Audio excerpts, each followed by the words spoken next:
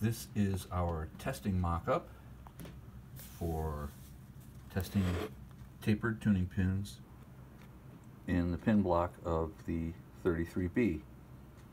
And this is not just a mock-up, but this is made from the exact same materials as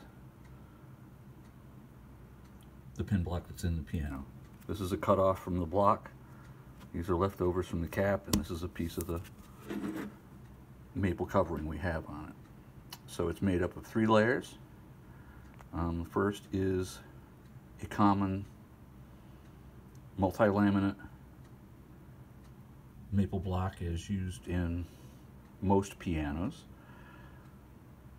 Um, we went with this because it's essentially split proof and it does offer a lot of end grain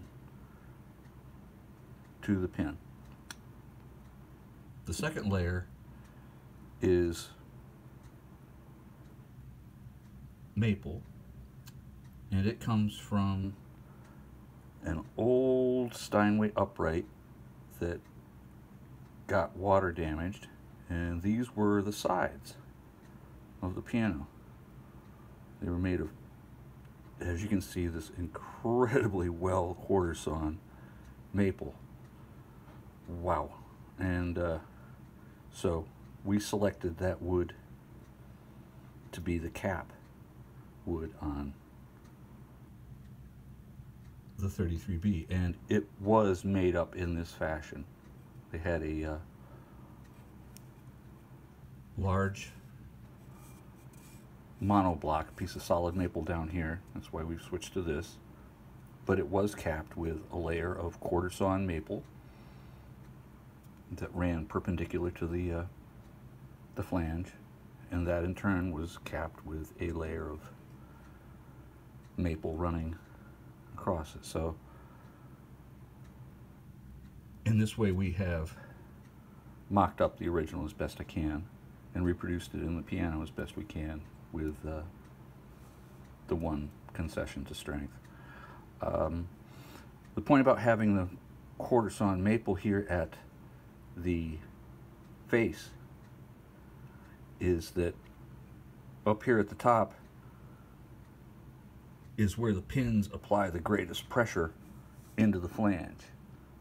And by having a quarter sawn cap up here, uh, the pin is given all the advantages of the end grain strength of the quarter sawn, quarter sawn maple. And I think the uh, the upper cap is just to keep things from uh, being exposed to too much oxygen. Even modern uh, pin blocks do have a thin layer of veneer on the top, so Anyway, I wanted to take a good look at this before I started putting any holes in it.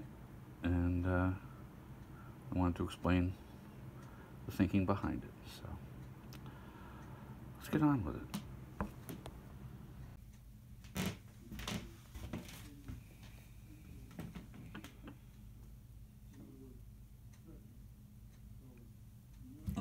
Okay.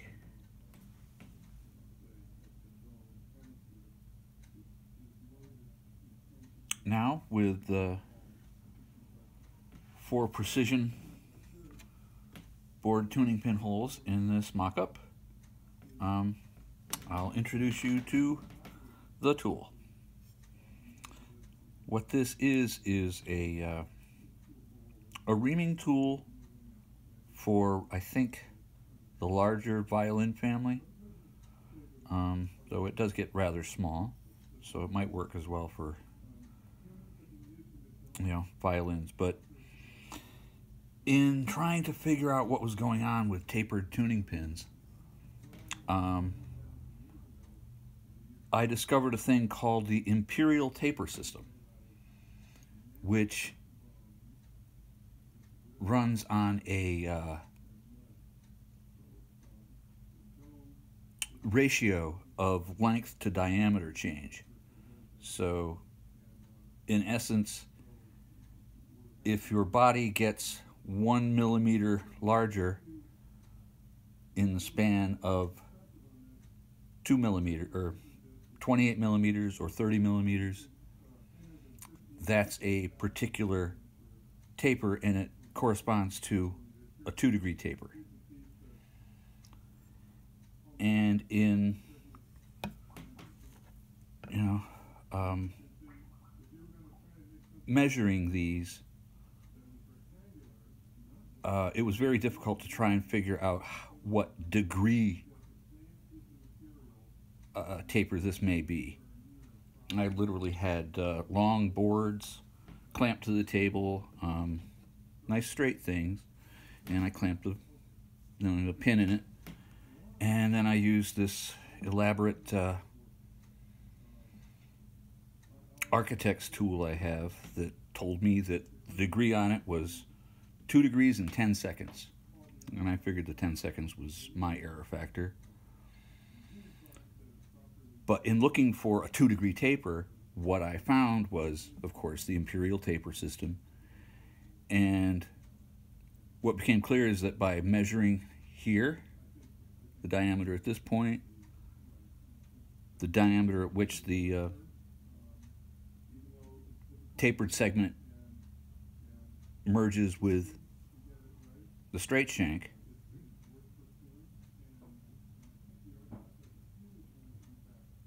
what I found was that it did, as I say, went up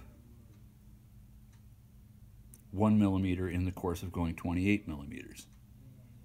And so that, by the imperial system, pointed towards the two degree taper, and so we were lucky that uh, such a tool was available. This came from uh, that famous guitar outlet that everybody loves to hate, but looks like a good tool. I went the extra couple shekels for that gold finish that they say will make it cut better longer. So anyway, it's a two degree taper, tapered reamer. And just dropping it into the hole, you can see that it sits tight at the top and uh, has a little bit of side to side, back and forth wiggle, as you would expect something like this. Turning it back does basically nothing, but try turning it around. I'm not applying any um, real pressure. I'm just trying to turn it on an axis and let it find its own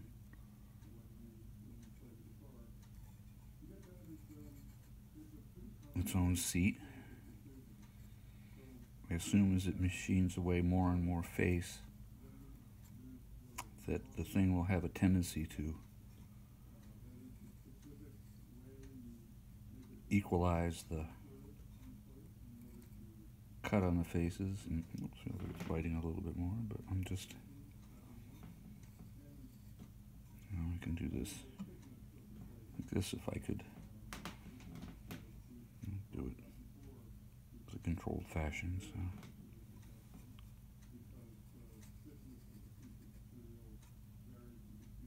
But yeah, it's biting in, so take it out. See the shavings coming out. Let's see. Here's one an original pin. that'll sit like that.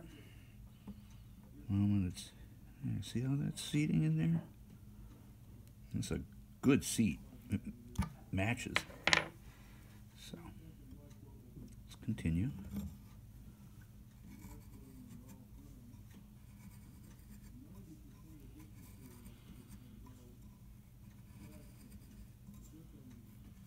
Using a little more persuasion. And, yeah, see, just littlest shaving. And um, the beauty of it is it has this whole, you know, non cutting surface that can't help but guide all the rest of these eccentric blades and seems to be doing a very nice job. And I do have a bit to go, so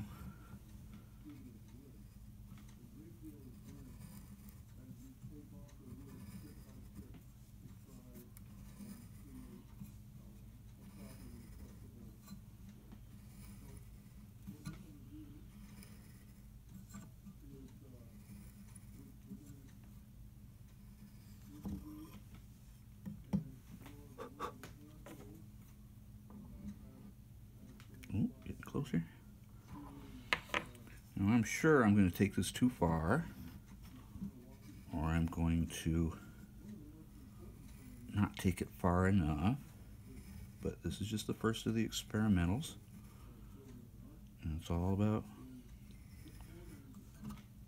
working out a relationship with the tool and the materials and the goal See how it's getting really close to my bluing? These pins were quite high. The becket hole was high by modern standards. So I'm getting close. And as I said, I don't really care if I go too far. This is about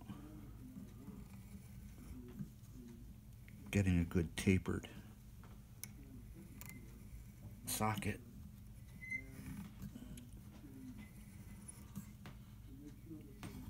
how the pin likes it.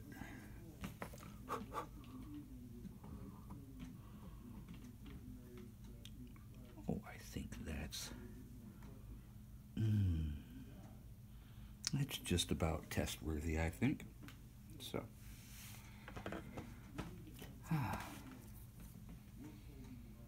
What do you think about how I'm going to do that?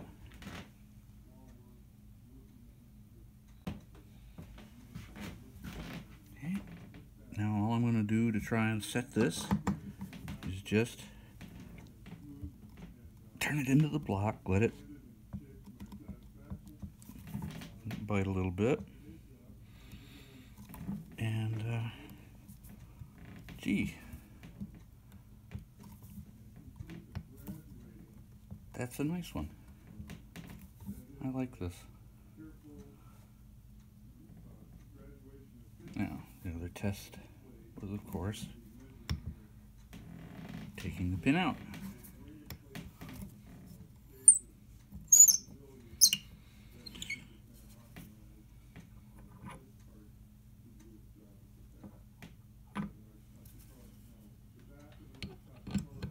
just sitting in the hole, it's got about that much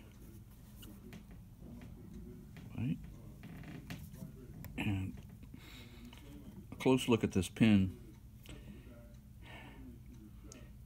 it doesn't have spiral threads, as every tuning pin you've ever seen might have. This actually has cross hatching. It was probably done with uh,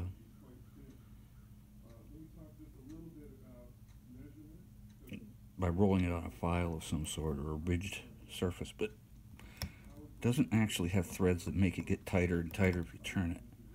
But a little bit of pressure gets those things to bite or grip the wood at least, but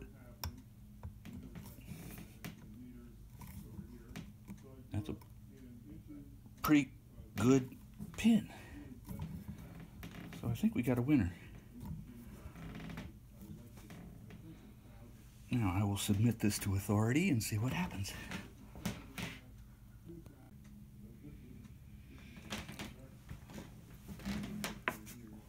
well, delightful. Authority is pleased. So, let's try doing another one rather quickly and see how efficiently this can be accomplished. Let's see here. I can see where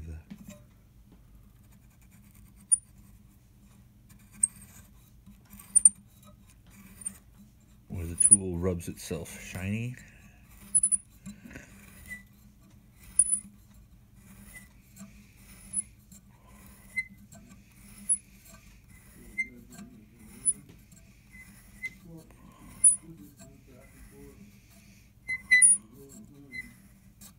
I think that's about it.